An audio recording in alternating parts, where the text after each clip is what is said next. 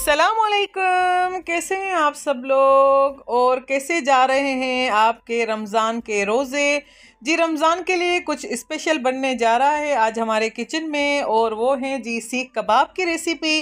सीख कबाब बनाना बहुत ही आसान है। जिस तरह पिछली वीडियो में मैंने कोफ्ता की रेसिपी शेयर की थी, अब मैं करने जा रही हूँ सीख कबाब की रेसिपी शेयर, जिसमें मैंने ढेर सारे हरे प्याज ले लिए हैं और उनको बारीक काट लिया है।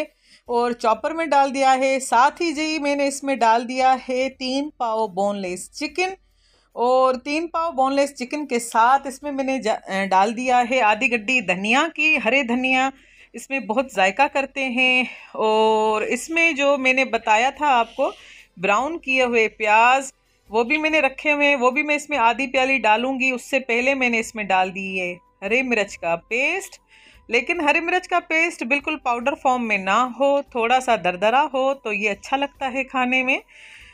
और जी, इसमें मैंने डाल दिया था सीख कबाब का मसाला और हरे जो मिर्च थे, उसके साथ दो चम्मच मैंने भर के डाल दिए थे अदरक लहसन का पेस्ट जी, कितनी चीज़ें जो चली गई इसके अंदर? जी, हरा प्याज चला गया, हरे, हरा धनिया चला गया, अदरक लहसन का पेस्ट चला गया, हरे मिर्च चले गए साथ ही आधी प्याली चले गए ब्राउन प्याज के। और इसके अलावा सबसे पहला जो मेन इंग्रेडिएंट है हमारा, वो है चिकन बोनलेस वो भी हमने डाल दिए थे। जी, साथ ही मैंने इसमें दरदरे, लाल मिर्च डाल दिए हैं, दो चम्मच। साथ ही दो चम्मच धनिया के डाल दिए हैं, धनिया का पाउडर डाल दिया है। साथ ही फिर जो है साबित धनिया ग्राइंड किए हुए दरदरे से दो चम्मच भर के वो मैंने डाल दिए हैं। और उसके बाद जी आप इसमें खटाई पाउडर यूज़ कर सकते हैं, लेकिन मुझे नहीं पसंद तो मैंने नहीं यूज़ किया। जी साथ ही मैंने इसमें डाल दिया है एक चम्मच हसबे ज़ायका नमक। आप अपने टेस्ट के अकॉर्डिंग डाल सकते हैं और इसके बाद हम इनको करेंगे चॉप। हाँ जी, एक बात तो रह गई, इसमें मैंने डाल दिए थे ब्रेड के दो स्लाइस और वो भी मैंने जो है चूरा बना के डाल दिए थे। इससे हमारे कबाब कभी भी नहीं टूटते। कबाब को आप मुख्तलिफ़ तरीके से शेप दे सकते हैं। ये मैंने ढेर सारा शेप बना के रख लिए थे। फिर इसमें मैंने जो है टूथ पिक जो थी हमारी, वो इनके सेंटर में मैंने डाल दी थी। ये बारबेक्यू स्टिक मिल जाती है, छोटी सी बाज़ार में मैंने हाफ़ हाफ़ कर लिया था इनको। आप टूथ पिक भी डाल सकते हैं। लेकिन सेंटर में मैंने इसलिए डाल दिया था कि अंदर से ये कच्चा ना रह जाए और इसमें आप मुट्ठी वाले कबाब भी बना सकते हो।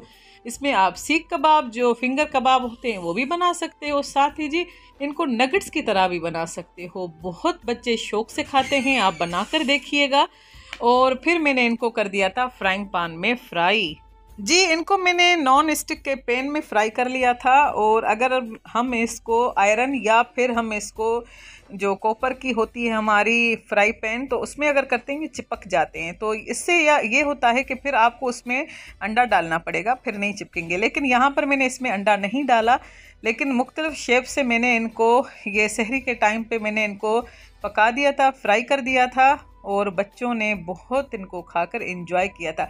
जी, कैसी लगती है आपको मेरी ये रेसिपी मुझे ज़रूर बताएँ कमेंट में और मेरे वीडियो को शेयर करें, मेरे चैनल को करें सब्सक्राइब और लाइक करें और मुझे रखें दुआओं में याद। अल्लाह हाफिज़।